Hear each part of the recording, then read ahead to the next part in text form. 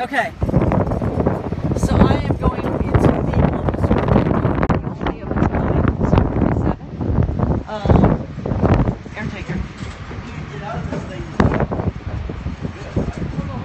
So, is it okay? This is a Periscope. It's a live broadcast. Is that okay with you guys? To whom? To uh, the, anybody who tunes in, which is so far two people. Is well, that all right? You're going to need to crawl. Can you do that while you're Oh, I can. Well, I don't know if I can crawl while I'm doing this, but I'll try. Okay. It? So these are the guys. You want to introduce yourselves? I don't know. Hi, I'm Marcos with the Super Tanker. Okay. Jim Fish with the lead. Okay. And Jamie Tackman. Okay. You're one of the pilots. Uh-huh. Yeah. Did a great job. He's watching. lead pilot, yeah. He's our lead. Oh yeah. Okay. So uh, you're on the main deck. I'm the lead at my company too. I'm the only. You're on the main deck of the 747, the Global Super Tanker. Okay. Um, this one, this one used to be first class right here. Well, obviously, all, all the seats were removed. It started off as a passenger bird, and then it was converted to a, uh, a freighter. Uh, Oh. It flew as a freighter for Evergreen for a couple of years. Okay. And then it got parked in the desert, and uh, now I know where converted too. To a. Uh, it was probably what's that name of that town? In Southern California? Uh, Victorville. Victorville, right? Uh, there's a ton of 747s there. We'll go back to the. Uh, Okay. tanks. Go ahead. Wow. Those big tanks. Whoops. All right. Wow. So, can you hear me, Jamie? Yep, I got So there are there's 20 tanks on the aircraft. The two tanks forward that are athwartships are what we call ullage tanks.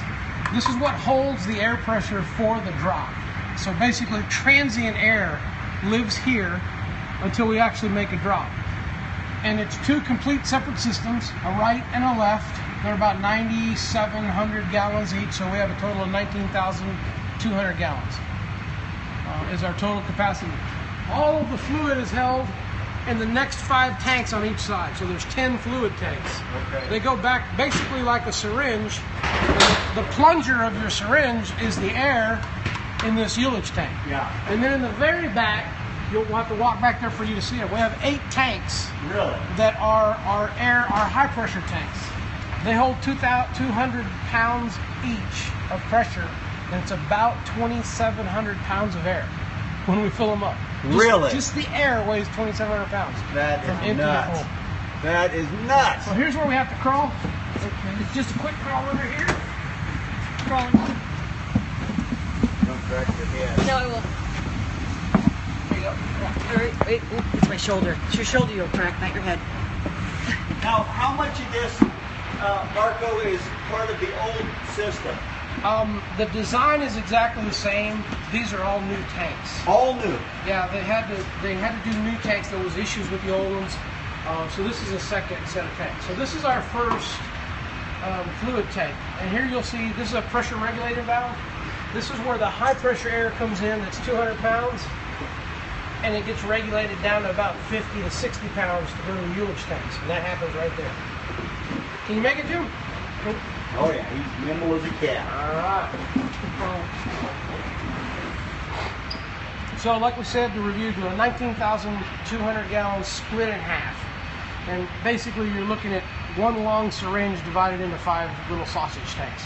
Now, one of the neat things that I remember about the old system is that these guys would tell me how much flex from one end of this thing to the other is. What, do, you, do you know the distance? I mean, it's, it's- like a ridiculous it's- number, it's- like two feet or three I don't know that feet. it's two feet. It's probably Really? a foot. At least there is a large movement. And one of the ways we compensate for that, um, all of these joints that you see, if you look right there, They're rub- they're, they're they're rubberized. rubber. Oh yeah, yeah. Sure. Between Like on a bridge. tanks, we have these big uniflex couplings is what they're called. They're big, thick rubber like a tire, and they couple these together. So we'll keep moving aft. Now this is this is all removable. Technically, it is. It's a probably a week process. Yeah. A one week process for it to be removable. Wow. I don't think they ever designed this to convert back. Yeah. But it is absolutely. They're actually on cookie sheets. Yeah, I see that. and the cookie sheets are on the original freight conversion cargo floor. Yeah. So they're roll on, roll off, and you're looking at a uh, you're looking at a joint right there. I'd like Yeah. you to take particular attention to the curtain that we crawled through in front, and you'll notice that there's these cookie sheets have Yep. these vinyls between them. Yep. That's not normal. That's unique to the super tanker. And basically, what happens if you imagine a kiddie swimming pool made out of rubber, we've turned the upper deck of this aircraft into a rubberized kiddie, Kiddie swimming, swimming pool. If we have a massive leak loss, that curtain is not for privacy. It's not to keep you from seeing the tanks. That keeps the water that would be lost on the main deck from going any further forward than that. And our emergency procedure, if you, oh, and I need to tell you guys when you walk around, do not step on the purple cable. The purple cable is actually a water detection cable. So don't step on it. If you stay on the sides, you'll be fine. If you move about on the cookie sheets, the, the purple cable is everywhere. One drop of sweat can technically set that off and give us a leak warning upstairs on the main control panel. That leak warning would tell us to go into a leak loss emergency procedure. We pitch up to five degrees nose up, and we want that water to all move aft. Now it can't get down into the E and E compartment or any, anywhere here because it's all that kiddie swimming pool that we talked about. When we get to the very back, we'll see what happens. Jamie, one of the differences in this tank system and the uh, original is this station right here in the 400 couldn't accept the weight of the tank system in the classic. And the, the quickest solution to that was to cut this tank down on each side. We, we shortened it. And not so much the loss of the steel that came out, but it's the, the volume of the liquid that came out of it. Uh-huh. And because it got shorter, you'll see this coupling makes the difference here. I see. That's where the difference made up. And of course, we still have the Uniflex. God, these these this, the machining and the manufacturing of these is just crazy. Isn't it something? Yeah. We'll keep moving back to the full part.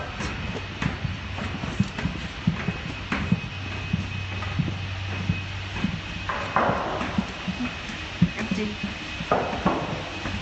So this curtain here, if we were to have a major leak loss, this curtain is just a speed bump.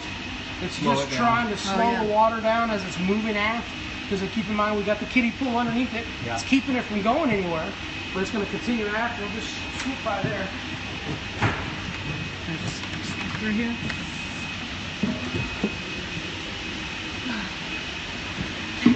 If you guys want to stand up on that where I was just walking, Okay. to look Oh. over the oh. top, that's our ejection nozzle. Oh. So there's two on each side, two to the right, two to the left. As you see the big ramrods on either side, Yeah, on either one, those are the shut-off. those are the shut-off valves. And they are just like a butterfly valve on a carburetor. They just, they just turn 90 degrees right inside that housing. If you've ever worked on a carburetor, that, that valve is in there just, just fluttering like that. Um, they're, they can be calibrated to any drop setting. For this, they're set at full on, full open, or fully closed. So what happens here is you see where those four tubes go down. You've been underneath the aircraft and you can see where they exit. All of the water in the leak loss would go down through that hole. Really? And then around the, the nozzles where they exit, they actually have perforated holes around it like a donut. And there's a float that, that lives on top of that. When we pressurize the cabin or when we roll, it's down and it's sealed. We don't lose air to pressurize the cabin. But when water hits those floats, they come up like a bobber, Yeah. and all that water goes right out on the outside of the nozzle. And then we have our eight high pressure tanks. There's four for each side, basically. They're two completely independent systems. We can actually defer one system for a maintenance issue and, and still fly with 9,700 gallons with one side completely empty. Wow. And Jamie, you may have heard about the tactics with this airplane. We compared it to different products. So we can do a foam on one side, Ah. And you know, for, for, Yeah. for immediate mitigation of a home or something like that, Yeah. and retardant on the other. Yeah. Uh, so we can carry any, any, any two different products. And we can also do up to eight seven-minute loads. We can do each side in quarters. So we can give you eight little baby shots, four medium shots, two Yeah. pretty good shots, or the one you know mile shot like we saw today. Yeah. And we Wow. can we can calibrate it to do it any way we want. Wow. But we regulate our coverage with uh, pressure in the ullage tank, and then how many how many valves we use. That is. this is so much different than the other. It's just amazing. And, and this is just second gen. I mean, they're talking about uh, carbon fiber tanks next time around. All seals. Oh, excuse me. Jim,